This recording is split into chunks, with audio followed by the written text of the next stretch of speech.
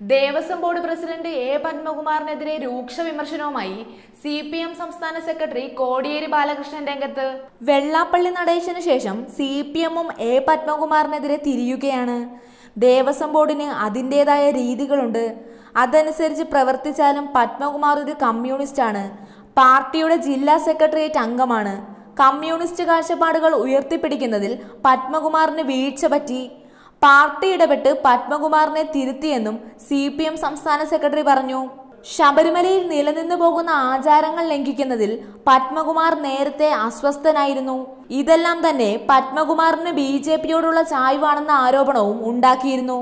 അതിനു പുറമെ മകരവിളക്ക് കാലത്ത് യുവതികൾ ശബരിമലയിലേക്ക് വരരുതെന്ന പത്മകുമാറിന്റെ പ്രസ്താവനയും ഏറെ വിവാദങ്ങൾ സൃഷ്ടിച്ചു.